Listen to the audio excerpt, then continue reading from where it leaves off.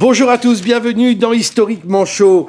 Encore Céline, il n'est pas prêt de nous lâcher. Ce sont les mots de Pierre Assouline dans son blog qui réagissait à la mise au banc de Céline des célébrations nationales à la demande de Serge Klarsfeld. En effet, le ministre de la Culture, vous le savez, a décidé de ne pas faire figurer Céline dans les célébrations nationales. Réaction euh, immédiate de Frédéric Vitou, l'un de mes invités. Euh, retirer le nom d'un catalogue, c'est aussi vain que euh, Staline faisant effacer les photos des dirigeants communistes qu'il n'aimait pas. Ça n'empêchera pas Céline écrit des horreurs et qu'il est l'un des plus grands écrivains français. Nier que Céline est traduit dans le monde entier, même en hébreu, c'est ridicule. Et vous ajoutiez, Frédéric, je serais Serge Klarsfeld, je voudrais au contraire qu'on multiplie les études sur Céline pour comprendre comment il a pu écrire Bagatelle pour un massacre tout euh, le débat qui va nous réunir euh, est posé dans ces termes. François Gibault, bonjour, merci d'être là. Vous êtes président de la Société d'études céliniennes, biographe de Céline et avocat de Lucette Touches. Frédéric Vitou de l'Académie française, biographie de Céline chez Grasset, un récit sur Bébert, son chat, euh, et puis chronique de Dominique Jamet. Qui y avait-il dans le dossier du procès Céline, puisque c'est aux éditions du Luro qu'on a les, dossiers de la Cour de justice de la Seine et du tribunal militaire texte établi par Gaël Richard. Alors, démarrons de cette polémique pour évidemment après élargir le champ, parce que la polémique elle-même n'est pas très intéressante. Euh, François Gibault, vous avez été euh, surpris ou euh, vous vous êtes dit, bon, une fois de plus, c'est toujours finalement le règne du politiquement correct concernant Céline qui sévit à nouveau? Ça m'a pas surpris. J'étais présent quand Frédéric Mitterrand a fait son discours. Je lui ai dit après d'ailleurs qu'il avait parfaitement raison, il fallait éteindre l'incendie, hein, c'était, c'était, devenu absolument insupportable. Euh, je dirais seulement que je ne vois pas très bien pourquoi euh, il existe des célébrations nationales. Je vous ai apporté une petite citation très savoureuse de Jean Dubuffet, puisque je défends non seulement l'œuvre de Céline, mais aussi celle de Dubuffet. Voilà ce qu'il a écrit il y a plus de 30 ans. On a trouvé mieux maintenant, c'est de célébrer en pompe un faux semblant d'art pour étouffer le vrai. C'est de quoi sont chargés dans les nations bien gouvernées les corps constitués de la culture. On m'accorderait que ça s'applique exactement euh, euh, euh, à, la situation. Céline n'avait pas besoin d'être célébré. Hein, il est célébré dans le monde entier par ses lecteurs, et c'est ça la vraie célébration d'un écrivain. Mais tout de même, la démarche de Serge Klarsfeld me choque.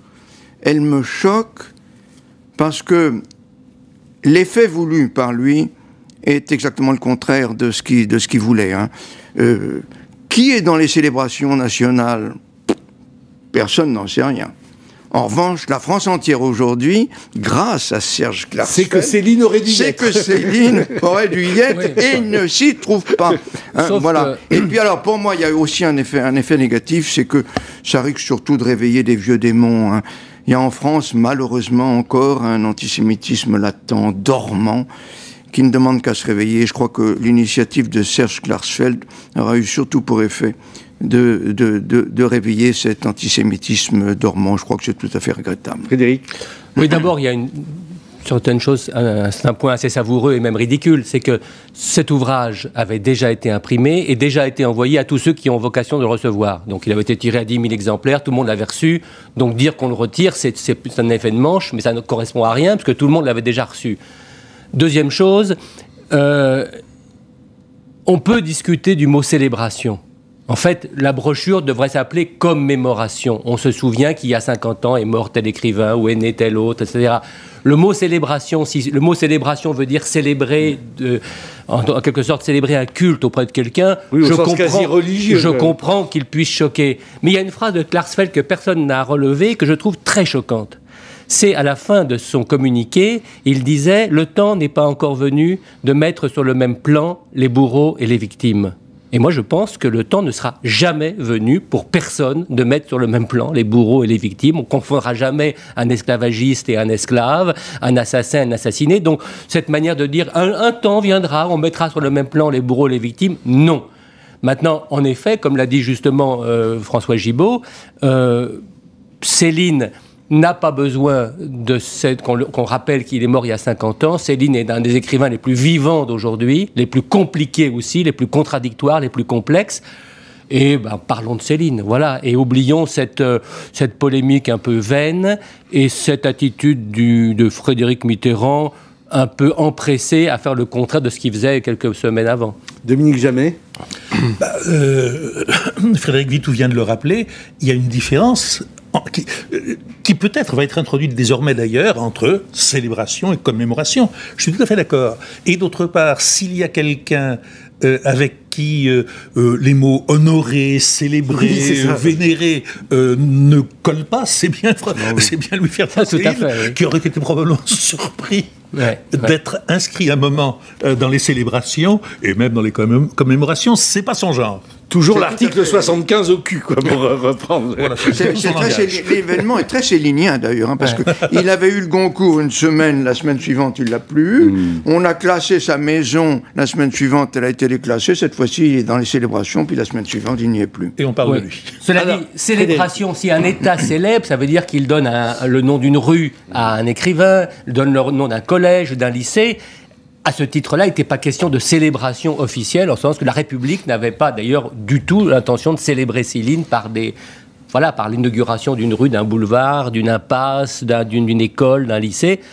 Donc en plus, c'était ridicule. Il va de soi que le mot célébration voulait dire commémoration et c'était joué sur les mots que de son Alors Frédéric Vitou, revenons à, vos, mots que je citais euh, au début lors de votre réaction euh, à, cette décision de Frédéric Mitterrand.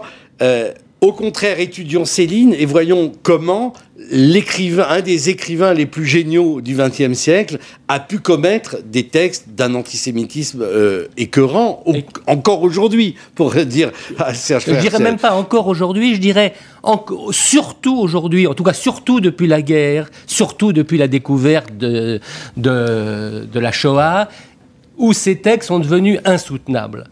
Maintenant, justement, comprendre l'antisémitisme, c'est un énorme sujet très compliqué. Si l'on veut étudier l'antisémitisme des écrivains, disons d'extrême droite, Brasillac, Robatet et les autres, je dis pas que c'est simple, mais on voit d'où ça vient. C'est culturellement plus facile à, ah, ah, identifier. Voilà, Dominique Jamais, on est, d'accord. C'est une droite euh, maurassienne, nationale, antisémite, qui vient de Drummond.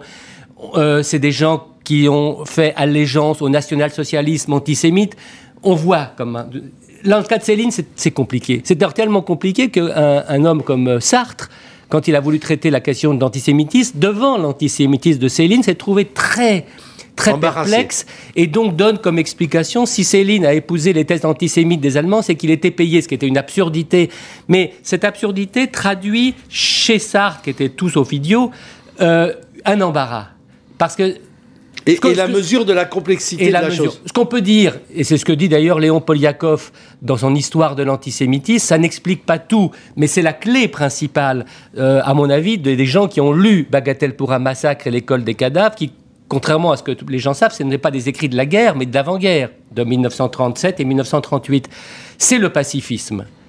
Poliakov le dit, c'est une sorte de pacifisme dévoyé qui fait que Céline ancien euh, de 14, euh, plutôt engagé, engagé dans l'armée un peu de temps avant la guerre, blessé, pacifiste à tout craint, se dit plus jamais ça. Et il voit les juifs qui sont persécutés par Hitler, et donc être contre les Juifs, c'est être contre ceux qui vont nous pousser à la guerre. D'où les titres des livres, Bagatelle pour un massacre et l'école des cadavres, qui ne sont pas les massacres ou les cadavres des Juifs, mais c'est les massacres ou les cadavres, soit passés de la guerre de 14, soit de ce que sera la nouvelle boucherie de la guerre à venir. Et même ce titre-là a pris, avec l'horreur nazie, un autre sens. Donc je pense que le pacifisme est une des raisons celle que met en, en valeur Léon Poliakov à juste titre, de l'antisémitisme. Là-dessus, il y a je dirais, la folie ou le grossissement de la vision célinienne, qui est un homme emporté, c'est un homme qui, à partir d'un fétu de paille, va faire un océan. Oui, qui est dans l'excès, mais qui est dans l'excès au sens où c'est voilà. la matière première de sa rhétorique et de son écriture voilà. aussi. Et donc, il y a une sorte de, de folie qui devient, en effet, à la lumière de ce qui s'est passé, insoutenable.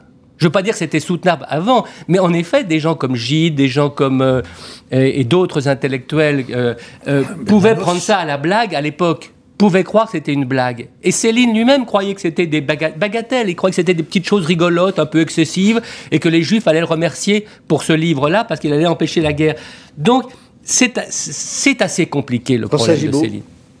Oui, dire à ce que vient de dire Frédéric Vitou, j'ajoute que sur le, livre Bagatelle pour un massacre, il y avait une bande sur laquelle il y avait écrit Pour bien rire dans les tranchées.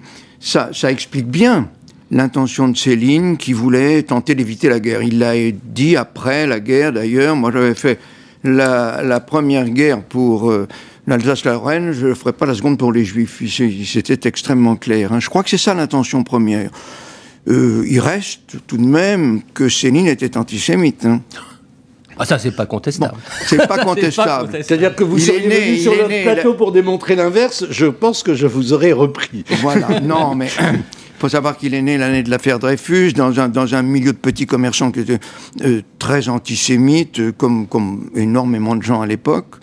Et que, voilà, bon, ça, ça, ça explique un peu l'antisémitisme de Céline. Et puis aussi, il avait été en 1936 euh, en Union soviétique, et il en était revenu euh, violemment, euh, foncièrement anti-soviétique. Et il voyait bien comment évaluer l'Europe, et il pensait qu'il valait mieux euh, que les Allemands s'affrontent avec les Russes que de voir les démocraties s'affronter avec l'Allemagne. Voilà. Je crois aussi qu'il y a cette espèce de calcul politique. Voilà. Ah, et dans le, deuxième livre, euh, antisémite, c'est-à-dire l'école des cadavres, qui, dont le titre est également très très parlant, eh bien, il va dire non. Maintenant, ce qu'il faut, c'est faire une espèce d'armée franco-allemande euh, entre guillemets euh, contre les soviétiques. À tel point même que les que je suis partout et que les Robatet et autres disent c'était tellement excessif qu'on n'a même pas pu défendre ce livre dans la presse d'extrême droite française ce qui prouve bien le côté. Mais ce qui est très curieux, c'est que c'est vrai qu'il y a ce côté antisémite. Euh, François Gibault a parfaitement raison de le rappeler, ce, ce milieu. Mais si l'on veut comprendre ce qu'est l'antisémitisme de la France moyenne, de la petite bourgeoisie française nourrie de ce, de ce ressentiment antisémite que, la, que le, Front populaire, Léon Blum, va accentuer avec ce que l'on sait, je dirais il y a un livre qu'il faut lire. C'est Mort à crédit c'est Mort à crédit où Céline fait le portrait le plus cruel d'un antisémite de la France moyenne en le dénonçant. Antisémite de base, quoi. C'est-à-dire c'est son père. Mm, mm. Son père est un petit bourgeois employé dans une compagnie d'assurance, qui est un peu barré par ses supérieurs, qui n'a pas, euh, qui n'a pas l'évolution de carrière. Et qui est dans le ressentiment perpétuel. Et qui dit c'est la faute des Juifs. Et donc Très curieusement, Céline, qui dans ses romans n'a jamais créé un personnage de juif avec les poncifs du juif que l'on trouvera aussi bien chez Simenon que chez Jacques de la Cretelle, chez tous, les écrivains, enfin la plupart des romanciers de l'avant-guerre. Ah, chez Nemirovsky Oui, mais, chez beaucoup, le, juif comme personnage romanesque est toujours attribué euh, levantin, douteux, etc. Chez Céline, jamais. Il n'y a pas un personnage romanesque de juif qui a des attributs, je dirais, euh, racistes mhm. ou, des, les conformismes racistes. Au contraire, dans l'œuvre romanesque de Céline et dans Bagatelle pour un massacre, il y a le portrait le plus exemplaire, le juif comme bouc émissaire des ratés. Et c'est pour ça que, tout en voyant une cohérence, en effet, sociologique, si je puis dire, à l'antisémitisme de Céline, on se dit comment Céline, qui dénonce justement cet antisémitisme... Oui, comment on passe de mort à crédit à Bagatelle. Et moi, je pense... Je pense que Céline a vous voulez, quand il revient de Russie, Céline est très marquée est très marqué par euh, ce totalitarisme soviétique qui l'effondre. Et il écrit un petit texte peu connu mais très beau qui s'appelle Mea culpa. Et où il dit en substance la grande prétention au bonheur, voilà l'énorme imposture. C'est ça qui rend les gens si venimeux, crapules, imbuvables, etc. Donc l'espoir d'un monde meilleur lui paraît une sorte de promesse d'un enfer très, très certain sur Terre. Et à un moment donné, face à une guerre qu'il sent, il tombe dans ce travers et il désigne un bouc émissaire pour se rassurer en quelque sorte. Comme il, démontrait, il démontait très bien ces mécanismes de bouc émissaire dans ses livres, dans, Le Voyage et dans Mort à crédit. Et, et, là, il y a une sorte, comment dire, il tombe dans ce péché, je dirais presque d'optimisme Dominique Jamais, on a les éléments du Pulse réunis par euh, les interventions qui viennent euh, de, se succéder. À la fois le traumatisme de la Grande Guerre, dont on ne dira jamais assez comment culturellement elle détermine et surdétermine beaucoup de choses qu'on peut lire dans les, années d'immédiate avant-guerre. L'anticommunisme, euh, voilà, euh, c'est de ce marigot-là que va sortir finalement euh, le meilleur et le pire, j'allais dire. Ben, l'antisémitisme de Céline, c'est assez vain en effet d'essayer de le rattacher à quoi que ce soit d'autre à l'extrême droite, à l'extrême gauche, il se rattache à tout. Il est totalisant, il est globalisant et il devient au fur et à mesure que les années obsessionnel. passent obsessionnel. Et comme les antisémites à la française, euh, euh, Céline dénonce à l'occasion quand même, même facilement, le, juif métèque, le juif génétiquement juif, euh, cette tourbe, cette race bizarre comme euh, l'extrême euh, gauche, il dénonce dans le juif le fauteur de guerre, c'est très très important, et puis euh, également le, capitaliste. Le banquier, le riche. Le banquier, le riche, etc. Et puis il dénonce le juif crasseux venu des ghettos d'Europe. c'est sous tous ces aspects que Céline déteste, vomit le juif. Et ce qui est intéressant, ce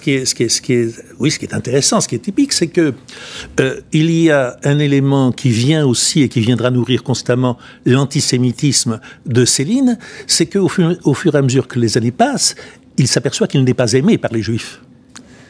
Les Juifs ne raffolent pas de Céline. Et euh, après, euh, déjà pendant la guerre, mais surtout naturellement lorsque viennent ces ennuis judiciaires, il voit dans les Juifs des gens acharnés à sa perte. Ça ne fait que nourrir davantage l'antisémitisme en question.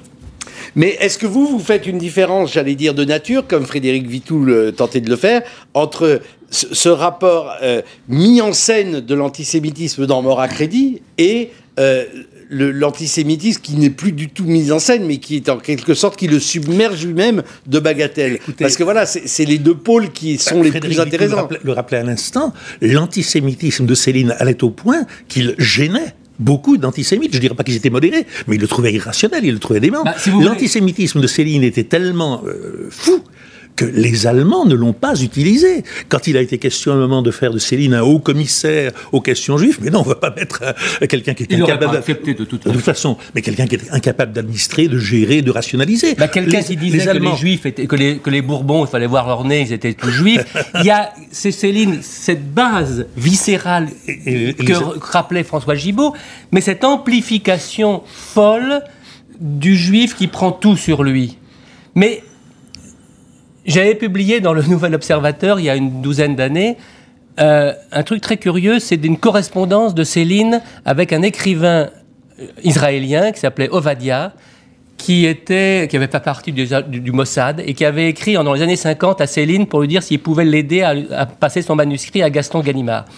Et Céline dit bien sûr, je vais le faire. Et en effet, on peut vérifier par les correspondances avec Gaston qu'il a fait ce qu'il fallait. Euh, pour l'aider, ça n'a pas marché, mais il a fait et il écrit à cet homme. Et il n'écrit pas à cet homme pour se faire bien voir et se faire pardonner, car c'est une correspondance qui était parfaitement intime euh, et, qui n'a jamais été révélée, sauf bien 30 ans après sa mort ou 40 ans après sa mort. Et les lettres de Céline sont complètement folles parce qu'il lui écrit, cher ami, et il termine ses lettres par des phrases Que les dieux d'Israël, de Jéhovah et du tonnerre soient avec nous, je vous embrasse, Céline. Et il lui demande, mais comment ça se passe Israël? Comment ça se passe les kibbutz? Et il a une sorte de fascination pour ça. Donc, c'est, moi, plus j'ai étudié Céline, ça fait quand même quelques décennies, moins j'y comprends quelque chose. Parce que tout ce qu'on dit, tout ce que dit Dominique Jamais, tout ce que dit François Gibault est vrai.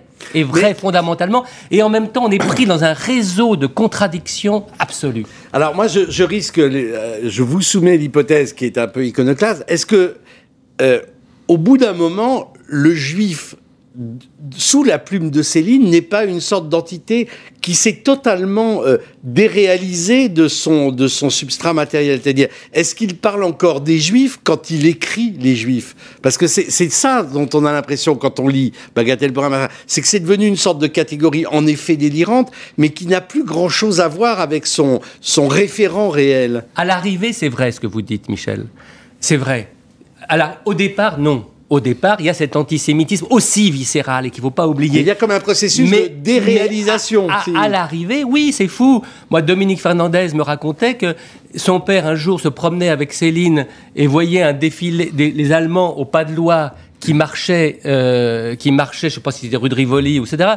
Et, et Céline dit à, à, Ramon Fernandez, c'est terrible, tu les vois là, c'est terrible. Alors on dit, bah oui, c'est les, les, les Allemands à Paris, c'est effrayant et Céline, qui détestait les Allemands euh, depuis la guerre de 14, même avant, euh, dire bah, non, non, mais c'est pas ça, mais regarde-les, regarde-les. T'as vu, ces petits, ils sont bruns. Il n'y a pas un qui n'est pas juif, mon vieux. Il n'y en a pas un qui n'est pas juif, dit-il en regardant un régiment allemand qui défilait au pas de loi. Donc là, il y a quelque chose quoi, qui fait qu'en effet, à l'arrivée, le juif prend sur lui tout et, se déréalise dans une sorte de... Mais c'est à l'arrivée, c'est pas au départ. Mmh. François Gibault Oui, j'adhère tout à fait à ce qui vient d'être dit. Euh, il est vrai qu'il y a une sorte de fixation de Céline contre les Juifs qui, euh, sont, qui, vont supporter toute, toute sa haine. Et après la guerre, comme il n'est plus question évidemment d'exprimer la haine pour les Juifs, alors ce sont les Chinois qui vont prendre leur lait. J'ai déjà lu ça à, plusieurs euh, reprises et c'est vrai. Euh, dans les derniers livres, ce sont les Chinois qui sont abominables, qui vont envahir l'Europe, qui vont détruire euh, la, vieille Europe chrétienne. Voilà. Donc ça, ça fera l'objet d'une autre émission parce que c'est vrai que c'est moins connu quand même l'aspect anti-chinois de Céline. Ça, c'est en effet moins connu. Ce que je voudrais ajouter à cela, c'est que André Derval vient de publier l'accueil critique de Bagatelle pour un massacre il a repris tous les articles qui ont été publiés. Et c'est absolument ahurissant. Aujourd'hui, c'est impensable. Euh, la plupart des gens trouvent ça plutôt rigolo, comme André Gide.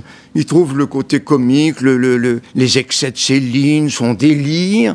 Euh, son, style absolument euh, surprenant, et, on, s'arrête à ça. Et finalement, l'antisémitisme est considéré euh, comme quelque chose. Enfin, il le livre n'est pas pris au sérieux, c'est ce que Frédéric disait. On ne peut pas lire Bagatelle pour un massacre en 38 comme on, peut, comme on le lit, comme moi je l'ai lu après. La première phrase de Bagatelle, c'est un peu de vaseline, beaucoup de patience, éléphant en cugule fourmi. Voilà. je ne dis pas que c'est une phrase immortelle, parce qu'il a écrit très vite Céline. Et donc, euh, à la différence des autres livres où il y a quand même un travail stylistique extrêmement euh, euh, admirable, là, c'est écrit un peu jeté. C'est en quelques semaines il écrit ses livres. Mais ça prouve, reste que quand, quand quelqu'un emploie des mots comme la charognerie youpine, et qu'on sait ce que, que l'histoire, et qu'il y avait un type encore plus fou que, que, que Céline, c'était Hitler, le cœur se serre. Et ça, on ne peut pas empêcher un, dégoût viscéral à lire aujourd'hui ces livres. En tout cas, la partie antisémite, parce que Bagatelle pour un massacre, la moitié du livre, c'est consacré au voyage à, Leningrad. À à et c'est des pages là admirables sur Leningrad qui sont superbes. Euh, il y, a, euh, il y a la lecture après et il y a la lecture avant. Et effectivement, à l'époque où, où, sort Bagatelle pour un massacre, et même après, et même après la guerre, des esprits distingués et des défenseurs juifs de Céline disent c'est pas possible, c'est une blague, c'est une énorme blague, c'est un canular, Céline ne croit pas ce qu'il dit, c'est trop énorme, etc., etc. Cette thèse me paraît peu soutenable, mais elle a été avancée, elle a été soutenue, et effectivement, Bagatelle pour un massacre, venant après le voyage, venant après Crédit, etc., peut être considéré par un, est considéré par un certain nombre de lecteurs au moment de sa parution comme une charge énorme, et non pas comme quelque chose qu'il faut prendre au sérieux. Parodique, parodique. Il, il, ne peut pas penser cela, ce n'est pas possible. Parmi ceux qui avaient défendu euh, Bagatelle, où il y avait un homme qui était un, historien qui était de gauche, comme Henri Guillemin, par exemple. Henri Guillemin, qui était un jeune professeur en Égypte, je crois, avait, s'était beaucoup amusé avec à Bagatelle pour un massacre. Et quand on a publié le texte, Henri Guillemin m'avait écrit, mais comment vous avez trouvé ce texte, etc. il y en a bien d'autres. François Gibault. En tout cas, si je peux résumer tout ce qui vient d'être dit, c'est un livre de circonstances, Bagatelle pour un massacre. Hein. C'est un livre qui est écrit dans un contexte historique absolument particulier. Ce qui fait qu'aujourd'hui, quand on le lit, on ne peut pas le lire de la même manière qu'on le lisait entre les deux guerres. C'est la raison pour laquelle, surtout que nous savons, et là c'est là ce qui s'est passé pendant la guerre, et nous savons ce que la Shoah que, on, ne pouvait même pas imaginer euh, avant la Seconde Guerre mondiale. C'est la raison pour laquelle Madame Céline, dont je suis le conseil, euh, et Céline, de son vivant, elle ne fait qu'exécuter les volontés de son mari, s'est toujours opposée à toute réédition des pamphlets. Mhm. Alors, un jour, dans 20 ans, puisque nous célébrons le 50e anniversaire de sa mort, quand... Euh, nous le commémorons à 70 ans, Frédéric euh, les, pamphlets tomberont dans le domaine public. Alors j'espère que, un peu avant cette échéance, il y aura une édition euh, euh, sérieuse, avec un appareil critique sérieux. ce qui évitera dans, dans, 20 ans une, une, publication un peu sauvage et sans explication. Parce que c'est très compliqué, parce que la loi dit que toute incitation à la haine raciale et à, l'antisémitisme doit être et, effectivement est interdite, ce qui est très bien. Est-ce que si on republie Bagatelle au cas où il y aurait des permissions, ça tombe sous le coup de la loi, ou bien c'est un livre historiquement à, analyser parce que Et alors, franchement, si Bagatelle tombe pas sous le coup de la loi, plus aucun écrit n'y tombe. Donc euh, ça, prouve aussi peut-être l'absurdité de, cette loi. En tout cas, moi, ce qui me semblerait raisonnable dans un délai euh, décent, c'est une édition critique du type Pléiade, hmm. qui, voilà, avec un appareil critique extrêmement sérieux, comme le dit justement François Gibault. Ça, ce serait la seule solution pour aussi mesurer cet écrivain, parce qu'encore une fois, il n'y a pas un bon et un mauvais Céline. Hein. Il y a un Céline avec toutes ses contradictions, et c'est toujours un peu gênant, même si ce sont en effet des écrits de circonstances, euh, de, ne, de ne pas avoir pour les lecteurs, pour les chercheurs, pour les universitaires, tous les repères, d'avoir tous les repères et donc même la zone d'ombre la plus effroyable. Le procès de Céline, 44-51, dossier de la Cour de justice de la Seine et du tribunal militaire de Paris, textes établis et présentés par Gaël Richard. Dominique Jamais, vous les avez lus, ces dossiers? Oui, euh, ce n'est pas une pièce de plus au dossier, Céline, c'est un dossier au sens propre du terme, c'est le dossier judiciaire de euh, Céline depuis l'information euh, lancée en août 44 jusqu'à euh, l'effacement de sa condamnation par le tribunal militaire en 1951. Et euh, l'intérêt de ce dossier me paraît grand, me paraît tout à fait, tout à fait considérable. Bon, d'abord, il y a un aspect qui est comico-historique, c'est tout simplement le très long cheminement de ce dossier, de dessaisissement, dessaisissement, les manœuvres dilatoires des avocats, les avocats qui se tirent dans les pattes les uns des autres, maître No contre maître Tix et Vignancourt, naturellement la mauvaise volonté de l'accusé, enfin du prévenu, pardon, qui ne tient pas à comparaître. Bref, ça traîne, ça traîne, ça traîne.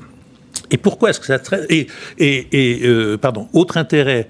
Euh, historique et, et, et, privé et célinien, on trouve dans ce dossier du procès de Céline car on trouve de tout dans un dossier, des factures de gaz, d'électricité, des notes bancaires, des lettres privées, des lettres intimes, des documents sur la façon dont Céline a, vécu pendant, euh, pendant l'occupation. Puis on trouve aussi naturellement des mémoires en défense et les conclusions des divers juges d'instruction. Et euh, donc il y a un contraste fort entre le traitement judiciaire de l'affaire Céline et par exemple le traitement judiciaire de l'affaire Brasillac, dont on parlait récemment. Ça n'est pas expédié en 15 jours d'instruction et 6 heures d'audience, ça dure, ça dure, ça dure. Et ça dure pour une raison qui est tout à fait, qui paraît tout à fait singulière. Euh, il semble que les premiers juges aient fait le raisonnement suivant. Euh, Céline, on ne sait pas trop qui c'est. Euh, oui, c'est un, écrivain, bien sûr, on le connaît, on voit, mais ce n'était pas des spécialistes de Céline. Mais ce qui nous intéresse, ça n'est pas Céline, c'est le docteur Détouche. Il y a docteur Jekyll et Mr. Hyde, il y a docteur Détouche et monsieur Céline. Eh bien, on va s'intéresser à ce docteur Détouche et on va essayer de nourrir le dossier avec les méfaits, les forfaits du docteur Détouche pendant l'occupation. Et pendant euh, très longtemps, 18 mois, 2 ans, L'instruction cherche ce qu'a bien pu faire ce docteur Détouche pendant l'occupation. Et elle fait à peu près euh, chou blanc. Parce que, est-ce que le docteur Détouche a été payé par les Allemands? Manifestement non. Il vivait, des droits d'auteur d'un certain Céline. Est-ce qu'il a été utilisé par les Allemands? On en parlait à l'instant, il ne l'a pas été du tout, tellement il était incontrôlable. Alors, est-ce qu'il a euh, adhéré à l'un des partis collaborationnistes, au PPF, au RNP, euh, non.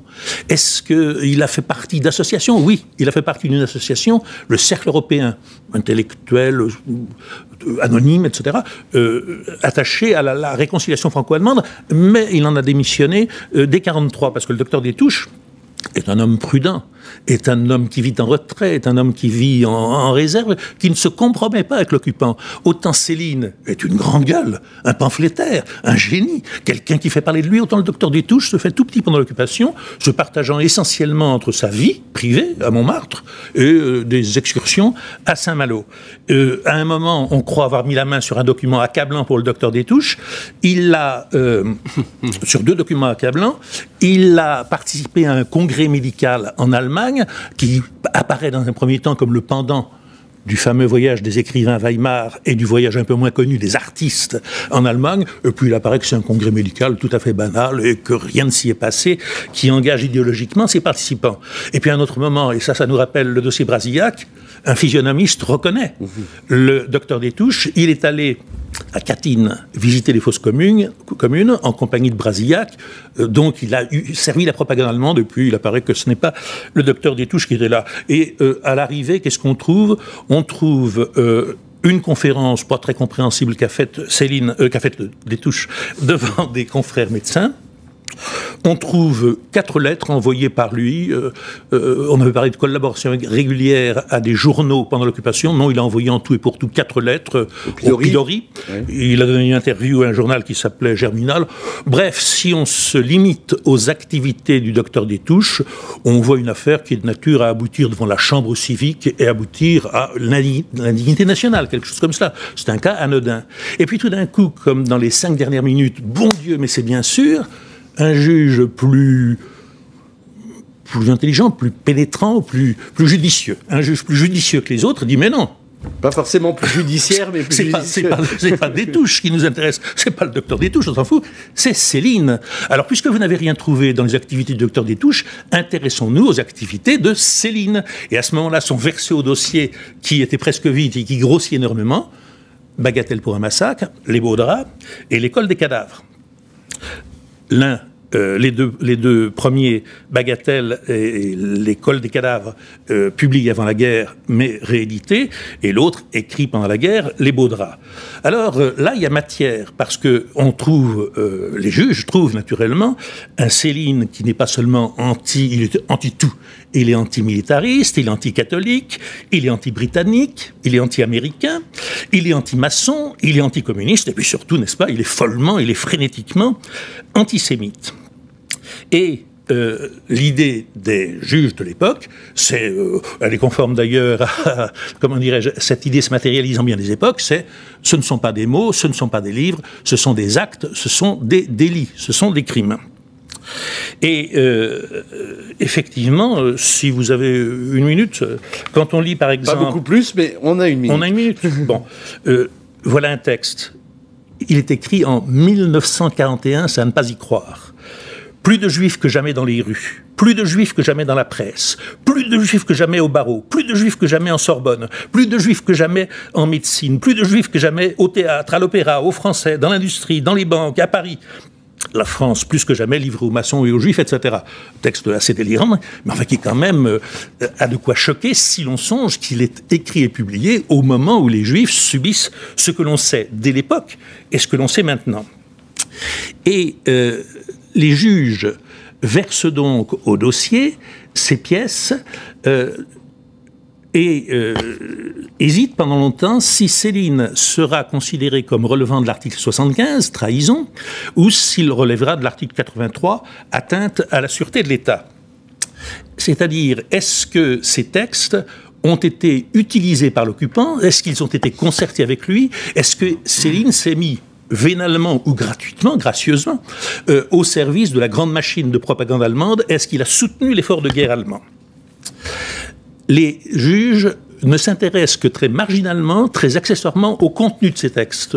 Ils disent au passage, oh c'est pas beau, c'est pas beau du tout ces textes, ils sont très très condamnables. Mais ce qui les intéresse, ce sont les circonstances dans lesquelles ces textes ont été publiés, et ils émettent l'idée que ce qui est possible, ce qui est permis, ce qui est condamnable moralement ou politiquement, mais admissible, c'est de publier ce genre de euh, euh, phrases, ce genre de livres, dans un pays libre, en temps de paix, mais que c'est inadmissible dans un pays occupé et en temps de guerre. Et euh, ce qui frappe quand on lit les pièces de ce procès, et notamment l'incrimination de Céline sur ces textes, c'est que les juges euh, les considèrent comme d'éventuelles pièces à charge, d'éventuelles pièces à conviction dans le dossier Céline, et ça ne va pas plus loin. Et on sait que finalement, elles ne seront pas retenues au point d'entraîner une condamnation terrible contre Céline. Euh, je vais conclure là-dessus. Et ce qui est assez vertigineux, c'est de penser que euh, si Céline vivait aujourd'hui, Euh, je ne sais pas s'il parviendrait à s'exprimer, mais il est très probable, il est certain que les textes en question, ou ce genre de texte, tout simplement ne seraient pas publiés. Mmh. Donc Céline aujourd'hui serait désamorcée par la loi qui euh, dispose, qui stipule que ce genre de textes ne sont pas euh, publiables et constituent à eux seuls des crimes. Euh, les choses ne se sont pas passées ainsi, et euh, on voit bien que chaque justice est une justice de son époque. Euh, la question était de savoir si Céline avait servi ou non l'occupant. La conclusion est qu'il ne l'a pas servi, même si ces textes coïncidaient singulièrement, partiellement, avec les thèses des nazis. Et le dossier Céline, le procès Céline, se clôt sur une conclusion dont j'avoue ne pas savoir si elle est fondée ou pas, Tixier-Vignancourt s'est vanté, et son confrère euh, et ennemi, euh, Alberno, a contesté cette affirmation. Euh, Tixier-Vignancourt s'est vanté d'avoir fait amnistier Céline par le tribunal militaire, car en 1951, la Cour de justice ayant été dissoute, le dossier Céline a été versé au tribunal militaire le tribunal militaire a amnistié Céline, et Viancourt a toujours prétendu que c'était un joli coup d'esbrouf qu'il avait fait, et qu'il avait communiqué cette demande d'amnistie à un juge militaire et ignorant, qui, ne sachant pas qui était Céline, a amnistié le docteur des Touches. Je ne sais pas si c'est vrai. François Gibault, vous avez un éclairage Moi, j'ai entendu Alberno et Tixier-Vignancourt là-dessus. Je les connaissais bien tous les deux. Et il est exact que sur le dossier qui était assez épais, euh, il y avait la médaille militaire de Céline qui était épinglée. Or, les anciens combattants de la guerre de 14 pouvaient alors bénéficier de la loi d'amnistie. Comme Céline n'était pas là, c'était un procès par défaut. On n'a pas, ça, c'est l'usage, on n'a pas examiné du tout euh, le dossier. Euh, en principe, on confirme. Et d'ailleurs, on a confirmé la peine qui avait déjà été prononcée par défaut. Un an plus tôt. Et euh, le président a vu qu'il était que, le docteur des touches, puisque c'était pas Céline qu'on jugeait, avait obtenu la médaille militaire et il l'a amnistié. Alors j'ai connu aussi le président Rouanard, qui présidait le tribunal militaire à cette époque. Je lui ai demandé si tout cela était vrai. Et c'est-à-dire qu'il ignorait qu'il amnistiait Céline. Il m'a dit j'ai agi en parfaite connaissance de cause, mais ça, je n'en suis pas absolument certain. Mmh. Collaborateur ardent, certes, mais libre, absolument libre et non salarié de la chose, je suis chatouilleux sur ce point. C'est euh, ainsi que Céline écrit en septembre 42 voilà, ça reste quelque chose d'incroyablement compliqué, mystérieux, assez passionnant aussi. Et puis, euh, et puis, si vous voulez en savoir plus, euh, allez voir euh, ben, la biographie de Céline de Frédéric Vitou, la préface aussi de François Gibault, recueil de textes écrits sur Louis-Ferdinand Céline et réunis par David Alliot, d'un Céline l'autre apparaître en avril dans l'action, dans la collection bouquin de chez Robert Laffont. Et puis ce, ces actes du procès Céline et tout le dossier que Dominique Jamais nous a si brillamment Merci messieurs, d'autres aventures historiques dans Historiquement Chaud, bientôt sur la chaîne Histoire.